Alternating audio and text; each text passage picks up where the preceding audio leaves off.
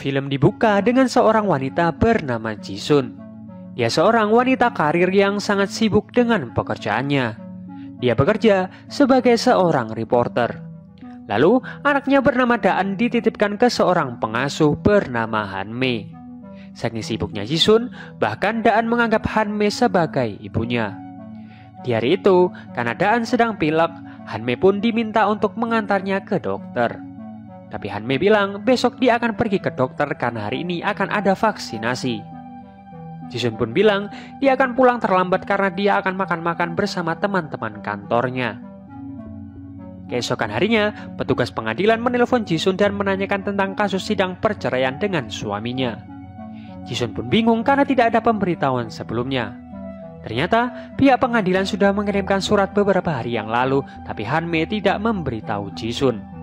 Jisun pun mulai mencari Hanme tapi di rumah tidak ada siapa pun.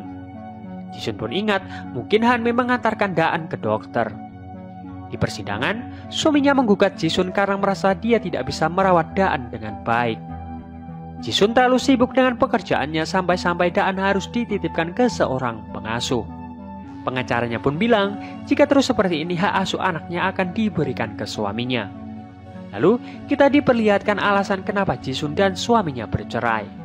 Karena ternyata suaminya ketahuan selingkuh. Suaminya ini seorang dokter. Malam harinya, dia menemui suaminya dan meminta mencabut gugatannya. Tapi suaminya menolak karena dia merasa Jisun tidak ada waktu merawat Daan. Suaminya ingin supaya Daan dirawat oleh neneknya yaitu ibu dari suaminya. Jisung pun berkali-kali memohon agar suaminya mencabut gugatan tersebut. Tapi suaminya pergi dari sana. Lalu Jisun pun pulang ke rumahnya. Tapi dia bingung karena tidak ada siapa pun. Dia pun keluar apartemennya untuk mencari anaknya. Tapi dia melihat laki-laki misterius lewat di sebelah apartemennya. Lalu dia pun menanyakan ke tetangga sebelah apartemennya. Karena dulu yang mengenalkan Hanmei ke Jisun adalah pengasuh tetangga apartemennya. Tapi ternyata pengasuh tersebut sudah lama tidak bekerja di sana. Lalu, Shin pun berpindah ke pertama kali Hanme diperkenalkan ke Jisun. Di sini nampak rumah yang sangat berantakan. Dan juga penuh luka di sekujur tubuhnya. Jisun pun cerita ke pengasuh tetangganya kalau sebelumnya dia punya pengasuh orang Cina yang merawat Daan. Tapi ketika Jisun pulang, Daan malah dalam keadaan terluka bahkan kakinya patah. Nah karena hal itu, dia ragu dengan pengasuh dari Cina. Apalagi Hanme ini keturunan Cina dan tidak begitu bisa berkomunikasi dengan bahasa Korea. Tapi ternyata ketika Daan menangis, Hanme bisa membuatnya tenang. Karena hal itu, Hanme diterima bekerja di sana. Oke, kembali ke masa sekarang. Tiba-tiba, atasannya menelpon Jisun dan memintanya segera membuat berita untuk besok. Saat Jason menulis berita, dia teringat tentang ucapan suaminya tadi siang. Dia pun sekedar menelpon suaminya dan menanyakan apa mertuanya mengambil Daan. Tapi suaminya menutup teleponnya. Jason pun mencoba menelpon Hanmei berkali-kali sambil memeriksa kamar milik Hanmei. Tapi anehnya, dia menemukan kartu pengenal suaminya. Jisun pun langsung ke kantor polisi dan melapor tentang hilangnya Daan. Tiba-tiba, pengacaranya menelpon Jisun dan menanyakan tentang Daan karena tadi suaminya menelpon. Suaminya merasa Jisun sengaja menyembunyikan Daan dan membuat cerita palsu bahwa Daan hilang. Tapi, jika Daan benar-benar hilang, Jisun akan segera kehilangan hak asuhnya. Bahkan tidak boleh bertemu Daan sampai usianya 19 tahun. Jisun pun takut dan tidak jadi melapor ke polisi. Padahal, polisi sudah menemukan data diri Hanmei di sini, kita diperlihatkan bahwa data yang diberikan Hanmei adalah data milik orang lain. Jisun pun akhirnya mencari petunjuk sendiri tentang Hanmei tanpa bantuan polisi. Tapi, dia tidak menemukan apa pun. Keesokan harinya, mertuanya datang dan berencana membawa Daan pergi. Jisun yang takut pun langsung beralasan berangkat bekerja. Lalu Jisun menuju ke dokter anak untuk mencari petunjuk. Tapi di sana, dia mengetahui kalau Hanme dan Daan pergi ke sana di hari Kamis. Padahal, Hanme bilang dia akan pergi ke dokter di hari Jumat. Yang lebih anehnya lagi, Hanme meminta resep obat flu untuk satu bulan. Yang berarti bahwa dia akan pergi jauh bersama Daan. Jisun pun bingung harus ke mana dia mencari anaknya. Tiba-tiba, dia melihat laki-laki misterius yang semalam sedang melihat apartemennya. Jisun pun menanyakan ke laki-laki itu apa dia mengenal Hanmei. Ternyata, Hanmei meminjam uang dari laki-laki itu. Lalu, Jisun meminta ke laki-laki itu untuk memberikannya petunjuk di mana dia bisa mencari Hanmei. Lalu, laki-laki tersebut mengantar Jisun ke tempat prostitusi dan menanyakan tentang seorang PSK bernama Mark. Jun pun makin dibuat bingung. Tapi ternyata Mark sedang tidak ada di sana. Jadi Jisun memberikan nomor teleponnya. Tiba-tiba, nomor tidak diketahui menelponnya dan terdengar suara laki-laki yang bilang kalau dia menculik Daan. Kalau ingin bertemu Daan, dia meminta untuk menemunya sendiri. Jisun pun semakin yakin kalau Daan diculik karena di telepon tersebut terdengar suara bayi yang menangis. Laki-laki di telepon itu meminta Jisun mentransfer uang ke rekeningnya sebanyak 30 juta won. Lalu, penculik tersebut bilang untuk menemui Daan di taman dekat pelabuhan. Tapi, saat sampai di sana, dia tidak menemukan Daan. Jisun pun segera melapor ke polisi tentang penculikan anaknya. Tapi, polisi bilang bahwa akun bank tersebut milik seorang penipu. Jadi intinya, Jisun sudah ditipu agar mengirimkan uangnya. Lalu, Jisun berencana memberikan foto Hanmei ke polisi. Tapi anehnya, semua foto Hanmei di HP milik Jisun sudah dihapus. Tiba-tiba, mertuanya datang dan memarahi Jisun. Mertuanya cerita ini semua cuma kebohongan yang dibuat Jisun supaya mertuanya tidak bisa membawa Daan bersamanya. Akhirnya, polisi pun mulai menginterogasi Jisun dan menanyakan kenapa setelah dua hari hilang Jisun baru melapor ke polisi. Apalagi diketahui bahwa KTP pengasuhnya palsu. Ditambah, mertuanya bilang Jisun kesulitan keuangan. Mungkin hal itu yang membuatnya melakukan kebohongan ini. Hal itu makin membuat Jisun dicurigai. Untungnya, Jisun berhasil kabur setelah izin ke toilet. Jisun pun segera mengecek CCTV apartemen. Lalu ada seorang anak SMA yang bercerita tentang Hanmei.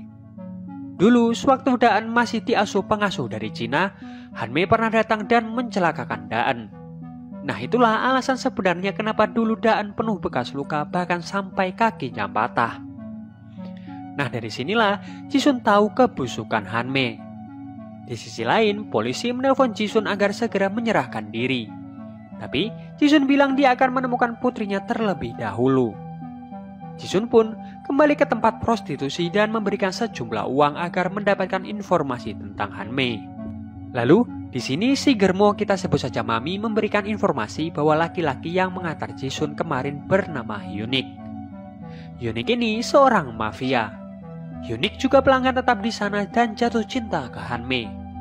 Nah jadi, selama Hanmei bekerja jadi pengasuh, malamnya dia bekerja sebagai PSK. Dan saat Jisun melihat barang-barang milik Hanmei, ia melihat foto anak kecil.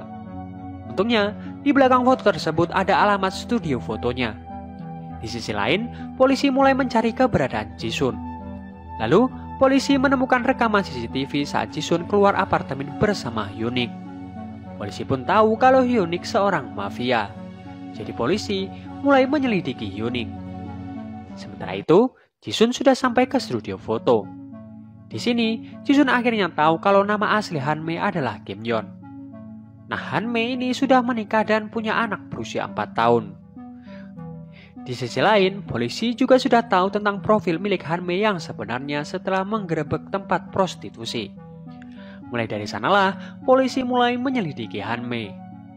Di sisi lain, Jisun sudah sampai ke rumah Hanmei yang dia dapat dari studio foto.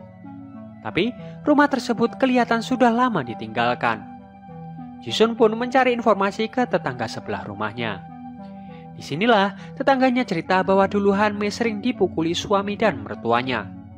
Tapi mereka tidak bisa berbuat apa-apa. Untungnya, KDRT tersebut berhenti ketika Hanmei hamil. Tapi suatu malam Hanmei mengetuk pintu rumah tetangganya dan bilang kalau anaknya sedang sakit. Tetangganya pun mengantar Hanmei ke dokter. Tapi dokter bilang bahwa Hanmei harus pergi ke rumah sakit karena anaknya diidentifikasi terkena hepatitis. Tapi bukannya membawa ke rumah sakit, mertua dan suaminya datang dan membawa anaknya pulang ke rumah. Untungnya, Hanmei berhasil kabur dan membawa anaknya pergi ke rumah sakit di Seoul. Dan itulah terakhir kali tetangganya melihat Hanmei dan anaknya. Tiba-tiba, polisi datang dan menangkap Jisun.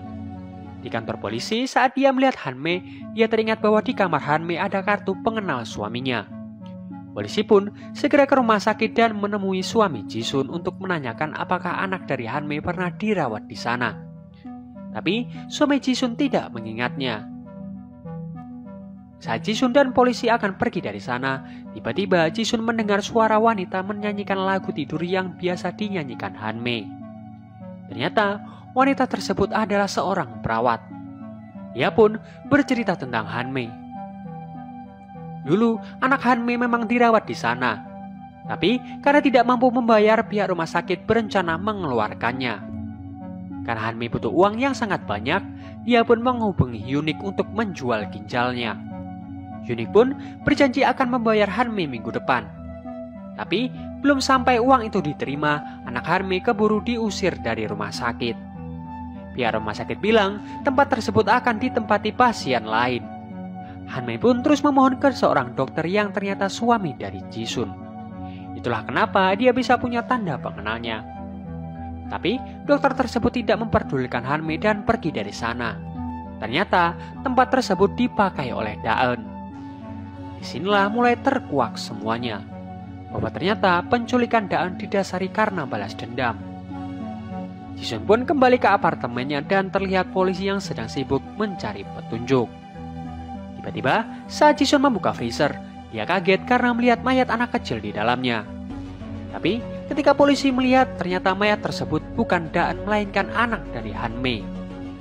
Lalu, Shin pun kembali ke masa lalu. Setelah diusir dari rumah sakit, Hanmei pun mencoba mencari pertolongan.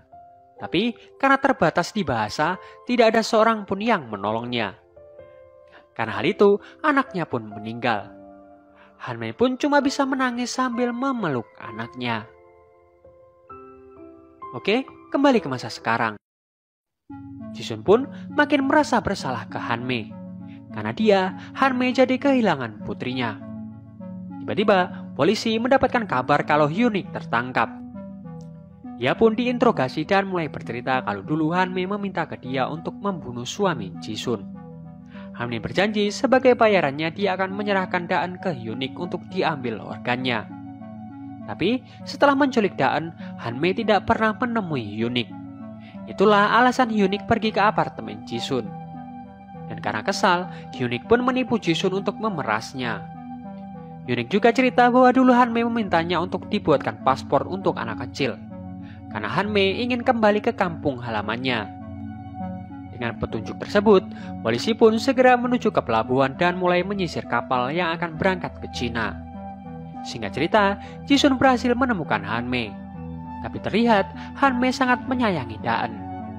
Hanmei yang tahu kalau dia sedang dikejar pun mulai kabur. Tapi sialnya, dia pun terpojok. Polisi pun satu persatu mulai mendekat, dan Hanmei mengancam akan melompat bersama Daan. Jisun pun lalu memohon ke Hanmei untuk melepaskan Daan. Jisun pun meminta maaf ke Hanmei karena kesalahannya anaknya meninggal. Jadi, sebagai gantinya Jisun yang akan melompat untuk menebus kesalahannya. Asalkan Daan dibebaskan.